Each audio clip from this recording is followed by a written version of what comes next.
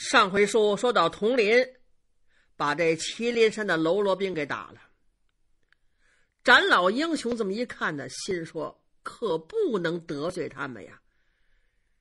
我离这山住的这么近，你们爷儿几个打完了没事走了，我可怎么办呢？展大王迈步，打算过去拦。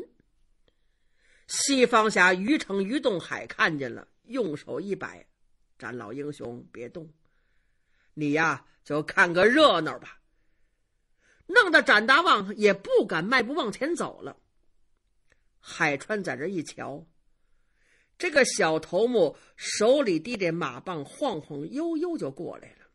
海川一笑：“怎么，你想动手吗？”“哼，钱老杆，你敢打我手下的弟兄？这叫太岁头上动土，老虎嘴边拔毛。你呀，你今天是找死啊！啊！”天堂有路你不走，地狱无门自来投。你接我的马棒吧！歘，他往上蹦起来，就给海川一棒。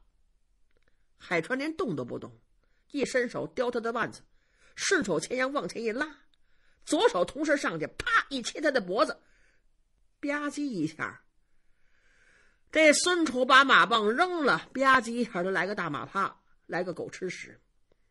海川左脚一蹬他的肩膀。还横吗？没横，压根儿也没横，压根儿也没横。没横，你刚才干嘛来了？我瞧你欠老杆，不服气。我切老杆，你就不服气。现在你怎么办？我知道你打算把我摁在这怎么办呢？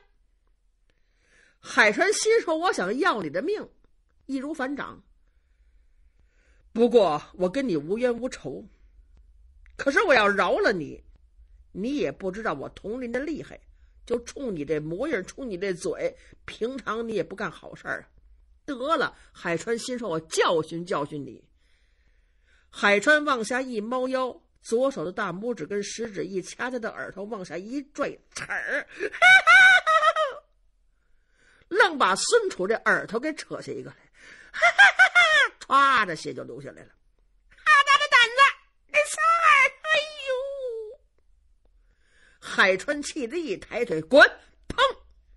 这孙楚真听话，滚出十几步去。他往起一站，抓了一把土，往自己伤口这一搓。哈，你这个气老赶紧等着！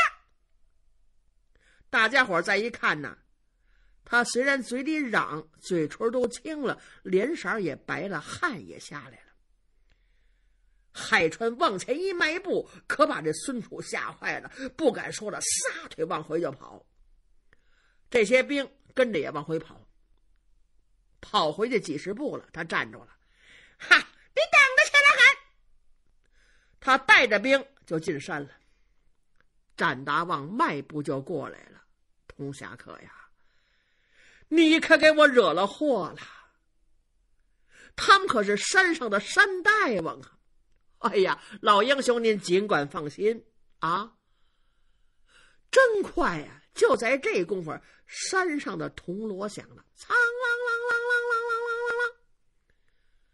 老少英雄侠剑跟王爷顺声音观瞧，山寨中二龙出水时，雁别翅排开，一边一百个兵。足金号坎打着国腿，卷帕缠头，每人怀抱一口刀，非常的整齐。这孙楚啊，捂着耳朵在旁边一站，当中间一位山大王，这位寨主八尺向开的身材，非常的魁梧，宽肩背后，穿着一身蓝，腰中扎着绒绳，左肋下佩戴一口刀。半尖大叶巴撒鞋，白布的袜子，头上绢帕缠头，黑乎乎的一张脸，黑中透亮，长得浓眉阔目，鼻直口方，大耳垂轮，青胡子茬儿。嘿，这位寨主爷往这一站，一派英雄气概。海川王爷跟老少英雄这么一看，这个山中的寨主非常有气魄，而且脸上一团正气。寨主一抱拳，请问谁打了我手底下人呢？童年向来是自己有事自己担，迈步往前一走，朋友是我。这位寨主上下打量佟林，哦，是您打的。您知道他是我麒麟山的头目吗？不错，他说了，我知道是你的头目。请问这位英雄，你为什么打他？因为他嘴不好，因为他待人没有礼貌。哦，这位寨主也点了点头，一回头。跟这孙楚说：“孙楚啊，这可就不怨人家打你了啊！刚才你那动手，喽啰兵回来禀报我，你对人家不礼貌，人家并没招你，没惹你，你为什么跟人不干不净的跟人瞪眼呢？”寨主爷，他怎么会没招我，没惹我呀？啊，他要咱们的墨鱼。人家要墨鱼，跟你说了吗？哎，没说，没说，你怎么知道人家要墨鱼呢？那那那那不是姓展的展老英雄给带来的吗？展老英雄说要了吗？我已然听喽啰兵禀报了，人家到这儿看看也不行吗？墨鱼既不是人家的，也不是我的，为什么不许瞧啊？那这不是麒麟山管的地盘吗？我告诉你，你原来在红毛太岁尼衮手下，啊，你在我手底下不能用那一套。谁有能耐谁得，我没让你管着别人，不许看这条墨鱼。哎，王爷跟老少英雄侠剑全都听见了。海川一听，这个山中的寨王非常讲理呀，朋友。请问你贵姓高明？啊，这位英雄，我姓吴，叫吴霸，人称鬓泪犀牛。哦，吴山主，请问你府上在什么地方？哎呦，我是陕西延安府的人士。你不在延安，你来到麒麟山干什么来了？既然您问我，我就跟您说，我呀是布行的手艺。从小喜欢练武，身体也强大。人家给我起个外号叫“鬓类犀牛”，跟您说，我水性特别好。听人传言，麒麟山洗砚池出了一条墨鱼，这会水的呀，要得到这条墨鱼，做了宝铠是刀枪不入，水火不伤。为这个，我又打家出来，买卖不干了，到这儿来的。原来这山大王红毛太岁你滚让我给打跑了，我就在这山上站着。这条墨鱼呀，这不是展老英雄在这儿呢吗？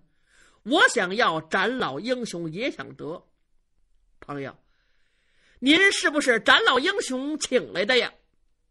不错，我正是展老英雄的兄弟，前来瞧瞧。这位英雄，别的我不说。您爱怎么瞧怎么瞧，可是您把我小头目孙楚给打了，我得讨教讨教您的本事。行啊，要是动手，咱们得把话说头喽。嘿，得挂点彩头啊！你要赢了我怎么办？我要赢了你呢？行啊，你要把我给赢了，嘿嘿，当着这些朋友，我跪地下磕头拜你为师。好，咱们就一言为定了。刘俊在旁边一听，哼，这回我又来个师弟，因为他知道师傅佟林的本事。吴霸往前一赶步，左手一晃面门，闷心一掌，这掌就到了。手疾眼快呀，佟林一瞧。这吴霸的能耐还不错呀，可要跟自己比，当然就差得远了。海川上左脚往前一滑，伸右手在胳膊底下一穿，拿这右手呢去搭吴霸的右肩膀头。这吴霸呢右手掌往前，佟林这右手从打他的右手底下穿过去，往他腋下穿，穿过去了。反过手来，拿四个手指头一搭吴霸的肩颈穴。海川呐，他自己的胳膊就把吴霸的胳膊给制住了，制到这儿了。跟着佟林、佟海川左脚不动，上右步，拿这右脚反过来一踢，踢哪儿啊？踢吴霸右腿的腿肚子。右手一摁，躺下吧。好家伙！扑通一声，吴霸当时仰面朝天，就躺在地上了。海川往后一撤步，朋友，起来吧。这吴霸还真听话，噌的一下蹦起来了，两只手一扎上，脸色都变了。嘿嘿，吴霸心说：“我没瞧得起这人，这老敢，貌不压重，衣不惊人，三十多岁。”嘿，没想到他有这么好的本事。海川冲他一笑：“朋友，服不服啊？不服，咱们可以再来。哎，服了，服了。既然服了，你刚才跟我是怎么说的？哎，您放心，我记着呢。师傅在上，弟子有礼。嘿，大家伙全都赞成啊！这吴霸真是好样的。”说到哪儿就做到哪儿，走到海川面前，跪地下就磕头啊。佟林呢，天生来的就喜欢这种人。海川一伸手把他搀起来了，算了吧，刚才的事情咱们就不谈了。你呢，也不可能管我叫师傅，我也不可能收你这个徒弟。这时候，展大旺跟西方侠于成、于东海全过来了。展大旺一抱拳：“吴寨主，知道我展大旺吗？”“哎呦，您是展老英雄啊！跟您说，我可不敢小瞧您呐。嘿，不过您想得这墨鱼，我也想得这墨鱼。对，现在你败了。”你趴地下磕头叫师傅，我告诉你，你这师傅你可拜着了。哎，呃，展老英雄，您您这是什么意思？告诉你，你拜的这位师傅，他奉师命下山要兴一家武术，在北高峰上献一贺号，镇八方，紫面昆仑侠，同林同侠可爷呀。你值不值啊？哎呦！吴八一听乐坏了。哎哎，好好好！吴霸心说：“谁不知道啊？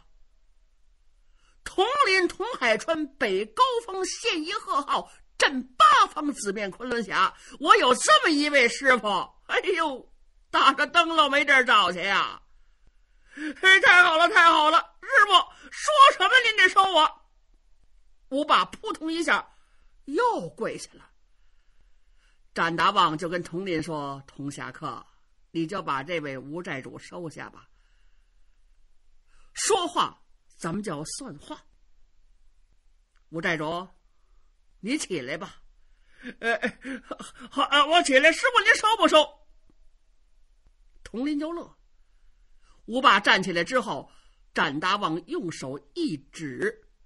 雍亲王胤禛，吴寨主，这位是当今康熙老佛爷的四皇子雍亲王爷啊！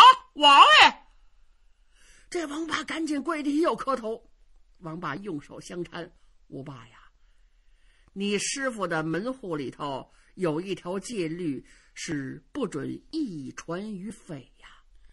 今天是初次跟你见面呢，你这个人。口快心直，一看就是个正派人。我呀，就劝海川收你啊，多一个弟子，多一份力量。将来你师傅创立自己的门户，在武林之中能有立足之地，缺了徒弟也是不行啊。哎呀，王爷，您说的太对了。跟您说，我吴霸呀，可不是废人呐，我是安分守己做买卖的。哎，听说有这么条墨鱼，我又会水，所以呢，我就想得这墨鱼做宝铠。别的心我可什么都没有，我也不打架，我也不劫色。当初这麒麟山的寨主，他可是打家劫舍的坏人呐。我把他打跑了三年，您不信，您挨着个打听。我带着这些兵丁。在山上开垦荒地，我们自个儿种粮食，自个儿种菜，不抢不为非作歹呀！我就为这条墨鱼，嘿！不过每次斩老英雄来呀，我都怕他跟我争啊，就怕他把墨鱼得走，别的事儿没有。呃，师傅，呃，师傅，呃，千岁，呃，呃，呃，你们全都放心啊。呃，我呢，跪地磕完头，拜完师。我还回延安府，哎，做我的买卖去。王爷也乐了，好吧。既然这么说，现在你可不能走。你师傅还有事儿。我问你，你山里头很安全吗？山里头安全呐。王爷，恩师，众位师伯、斩老英雄，带着你们的弟兄们进山坐坐吧。好吧，王爷点了点头。吴爸呀，那个孙楚受了伤了，你给他点银子啊，让他自己买点药，找个先生看看，花钱养伤。孙楚在旁边一听，心说：“我也不要钱了，捂着耳朵就过来了。”哎，得了得了，既然王爷跟各位侠客爷、跟我们寨主爷都成一家子了，我呀，哎，掉个耳朵还轻着呢。蹦起来，少点分量更灵便。海川更是个明白人，上前抱拳施礼：“孙头目，我同林对不起您。”吴霸过来了，师傅算了吧，让他少一耳朵，少一耳朵吧。谁让他招事儿的？大家伙陪着王爷往山里走。这座麒麟山虽然不大，却收拾的干干净净。众位老少英雄侠剑陪着王爷进了头道寨门、二道寨门、三道寨门。呵，王爷瞧了瞧吴霸，心说：“他可真没说瞎话呀！”就在这三道寨门里边，一层一层的梯田，种的庄稼绿油油的，一行行的果木树林，嘿，苹果大烟里全有。这座山的喽啰兵真是不靠劫道吃饭呐！行，不能一传于匪。这吴霸还真不是匪，佟林收这徒弟算收对了。就这样，大家簇拥着王爷来到了分金聚鱼大厅。喽啰兵马上给打洗脸水、漱口水，爷儿几个陪着王爷洗脸漱口，然后落座吃茶。喝了几杯茶了，展大旺一抱拳：“王爷，众位哥哥兄弟，您看，我想得这条墨鱼，老贤侄吴霸呢也想得这条墨鱼。可是，我估计吴霸也没想出办法来，能把这墨鱼治死。他要想出办法来。”这墨鱼早就归了他了，那么我呢也没想出办法来，用什么法子能把这墨鱼弄到手？即便是弄到手，还得想办法呀，得用药炮制，然后请高人制作。说他容易，可真做起来就难了。即便我展大王得了这张鱼皮。我能不能把它制成鱼皮宝铠？这还很难说呀。老贤侄啊，你呢？嘿，吴八也乐了。展老英雄，王爷，我也是没办法。怎么办？您问问众位老少英雄侠剑，哎，谁要是有办法把这墨鱼捉上来，能把这墨鱼治死，谁就得这条墨鱼，怎么样？展老英雄点了点头，行，我同意。我是没这本事，既然老贤之吴霸也不行，那咱们就按吴霸说的，王爷，您看行不行啊？嗯。王爷看了看于成，又看了看镇东霞。其实呢，西方侠于成、镇东霞侯振远这两位老侠剑久走江湖，有办法能治死这条墨鱼。可这老哥俩能干这事儿吗？老哥俩往下一低头，眼睛往下一耷拉，不搭个这茬儿。王爷心中明白，这么办吧？在座的老少英雄，你们谁有办法就想想啊！谁要能把这墨鱼治死，这鱼皮就归谁。嘿，大家伙你瞧瞧我，我瞧瞧你，心说谁有造化呀？那么到底谁能出主意治死墨鱼，能得这张墨鱼皮？下回再说。